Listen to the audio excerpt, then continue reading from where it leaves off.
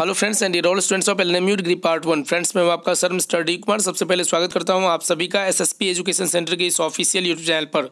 Friends इस video में degree part one के वैसे स्टूडेंट्स जिनका ऑनर्स पेपर साइकोलॉजी है तो उन सभी के लिए इस वीडियो में साइकोलॉजी ऑनर्स पेपर वन से ऐसे महत्वपूर्ण सब्जेक्टिव प्रश्न बताने जा रहा हूँ, जिसके आपके एग्ज़ाम में हंड्रेड परसेंट पूछने की गारंटी है। जी हाँ दोस्तों, मैं आपको बता दूँ, अगर आप इस वीडियो को पूरा देखते हैं और हर एक प्रश्नों की अच्छे तरीके से तैयारी कर लेते हैं तो आप अपने एग्ज़ाम के हंड्रेड परसेंट क्वेश्चन का आंसर दे पाएँगे। तो आप इस वीडियो को पूरा ज़रूर देखिए। साथ में अगर आपने अभी तक इस चैनल को सब्सक्राइब नहीं किया है तो चैनल को ज़रूर सब्सक्राइब कर लीजिए, क्योंकि जो आपका सब्सिडरी पेपर का ऑब्जेक्टिव क्वेश्चन होगा, उसका भी वीडियो आपको अप टू डेट इस चैनल पर देखने को मिलेगा। तो आप चैनल को सब्सक्राइब करके नोटिफिकेशन बेल दबाकर ऑल नोटिफिकेशन ऑन करके ज़रूर रखिएगा, ताकि हर एक आने वाली वीडियो की जानकारी आपको अप टू डेट मिलती रहेगी। तो चलिए बिना समय वेस्ट किए क्वेश्चन को देखते हैं। जैसा कि पहला क्वेश्चन है कि मानस मनोविग मनोविज्ञान की प्रयोगात्मक विधि के गुण दोषों का मूल्यांकन कीजिए। देखिए, इसमें जितने भी प्रश्न बताए जा रहे हैं, सभी बहुत ही महत्वपूर्ण है। वेरी वेरी इंपॉर्टेंट क्वेश्चन है। तो आप इसे अच्छे तरीके से तैयारी कर लीजिएगा। बाकी वीडियो के अंत में मैं आपको बताऊँगा कि इन सभी प्रश्नों का उत्तर आपको कहाँ मिलेगी। कौन से गेस पेपर में इनका उत्तर आप लोगों को मिल जाएगी। तो आप इस वीडियो को पूरा देखिए। तो यहाँ पे दूसरा जो क्वेश्चन है कि मनोविज्ञान की एक प्रविधि के रूप में प्रश्नावली का मूल्यांकन करें।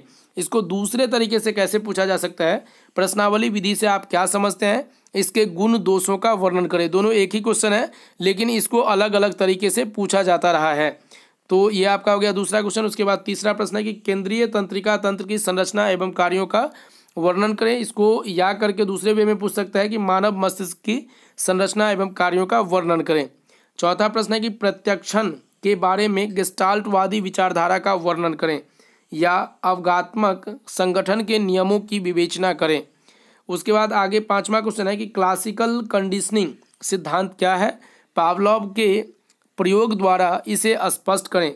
देखिए, पावलव का जो सिद्धांत है, यही आपका क्लासिकल कंडीशनल सिद्धांत है या जिसको शास्त्रीय अनुबंध सिद्धांत भी कहते हैं। तो इसी को दूसरे तरीके से पूछ सकता है कि अधिगम के शास्त्रीय अनुबंधन सिद्धांत का आलोचनात्मक वर्णन करें। मतलब इसका आलोचना करना है कि इसमें क्या क्या चीज़ें जो है वो खामियाँ हैं। उसके बाद है कि सीखने के अनुबंधित अनुक्रिया सिद्धांत की व्याख्या करें। फिर पावलव के अनुकूलन सिद्धांत का मूल्यांकन करें।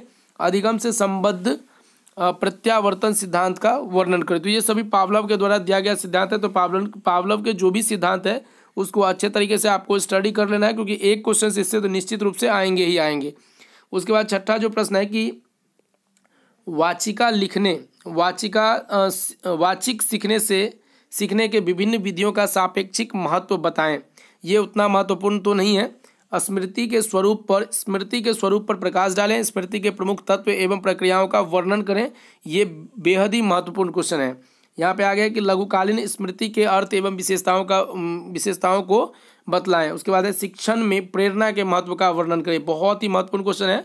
प्रेरणा का मतलब होता है आप मोटिवेशन दे रहे हैं उसको आ, किसी भी इंसान को या किसी भी व्यक्ति को शिक्षा के लिए तो उसमें प्रेरणा का बहुत बड़ा महत्व होता है। तो शिक्षण में प्रेरणा का क्या महत्व है ये वर्णन करना है उसके। या इसी को दूसरे वे में पूछ सकता है कि सीखने में अभिप्रेरणा मोटिवेशन का मतलब ही होता है प्रेरणा या अभिप्रेरणा। तो सीखने में अभिप्रेरणा के महत्व का वर्णन करें। दसवां प्रश्न है कि विस्मरण की परिभाषा दें, इसके कारणों पर प्रकाश डालें। अभिप्रेरणा से आप क्या समझते हैं? सामाजिक या अर्जित अभिप्रेरकों का वर्णन करें। बारह नंबर प्रश्न है कि जन्मजात अभिप्रेरण से आप क्या समझते हैं? जन्मजात या जैविक अभिप्रेरकों का वर्णन करें या कुछ जैविक प्रेरणाओं का परिचय प्रस्तुत करें। देखिए, आप लोगों को करना क्या है? जो 2018 का क्वेश्चन है उसको एक बार अच्छे तरीके से देख लेना है क्योंकि ज़्यादातर यही रिकॉर्ड रही है कि आपके प्रीवियस ईयर के क्वेश्चन रिपीट किए जाते हैं। जैसे देखिए, उन्नीस का क्वेश्चन बीस में ना रिपीट होकर इक्कीस में रिपीट होगा, उसी प्रकार अठारह का क्वेश्चन बीस में आने की बहुत ज़्यादा संभावना रहती है। तो इसे आपको देख लेना है। दो हज़ार अठारह का क्वेश्चन तो आप निश्चित रूप से मैच कर लीजिएगा। इसमें जितने भी क्वेश्चन सब आपको बताए जा रहे हैं तो 2018 के क्वेश्चंस भी इसमें कंक्लूड किए गए होंगे। तो आप उसे विशेष रूप से देख लीजिएगा। क्योंकि आपको केवल पाँच ही प्रश्नों का उत्तर देना होता है, जिसमें एक तो आपका ऑब्जेक्टिव टाइप का शायद सेक्शन आ जाता है, बाकी आपके चार सब्जेक्टिव टाइप या फिर पाँच अगर सब्जेक्टिव टाइप भी रहते हैं तो टोटल आपके ग्यारह या बारह प्रश्न पूछे जाएँगे, उसमें पाँच बनाना रहता है। तो इस तरह से आप लोग देख लीजिएगा। उसके बाद बारह नंबर क्वेश्चन तो हो गया कि जन्मजात अभिप्रेरण से आप क्या समझते हैं? जन्मजात या जैविक अभिप्रेरकों का वर्णन करें, या कुछ जैविक प्रेरणाओं का परिचय प्रस्तुत करें। उसके बाद तेरह नंबर प्रश्न है कि संवेग के जेम्स लॉजे सिद्धांत का आलोचनात्मक वर्णन करें। उसके बाद संवेग के कैनन वार्ड सिद्धांत का मूल्यांकन करें या संवेग के हाइपोथेलमस, हाइपोथेलेमस सिद्धांत के गुण दोषों का उल्लेख करें। पंद्रह नंबर क्वेश्चन है कि बुद्धि के संबंध में थार्नडाइक के बहुतत्व सिद्धांत की व्याख्या करें। देखिए, थार्नडाइक का सिद्धांत बराबर पूछा जाता है तो इसे आपको देख लेना है। उसके बाद कहते हैं, बुद्धि का अर्थ स्पष्ट करें। बुद्धि के सिद्धांतों की व्याख्या करें। सत्रह नंबर क्वेश्चन है कि स्पीयर मैन द्वारा प्रस्तावित बुद्धि के द्विकारक सिद्धांत की आलोचनात्मक व्याख्या करें। अठारह नंबर क्वेश्चन है कि बुद्धि क्या है? बुद्धि परीक्षण की उपयोगिताओं का वर्णन करें, ये भी महत्वपूर्ण क्वेश्चन है। बराबर एग्ज़ाम में आते रहते हैं। व्यक्तित्व के जैविक निर्धारकों का विवेचन करें। उसके बाद बीस नंबर प्रश्न है कि व्यक्तित्व के विकास में सामाजिक, सांस्कृतिक कारकों की भूमिका का वर्णन करें। आगे फिर क्वेश्चन दिया गया है, इसी को दूसरे वे में कि व्यक्तित्व के सामाजिक निर्धारकों का वर्णन करें। इक्कीस नंबर प्रश्न है कि व्यक्तित्व के निर्धारण में शैक्षिक निर्धारकों की भूमिका का वर्णन करें। और बाईस नंबर प्रश्न है कि प्रेक्षण से आप क्या, प्रेक्षण से आपका क्या अभिप्राय है? प्रक्षेपी प्रविधियों के स्वरूप, गुणों एवं अवगुणों का वर्णन करें।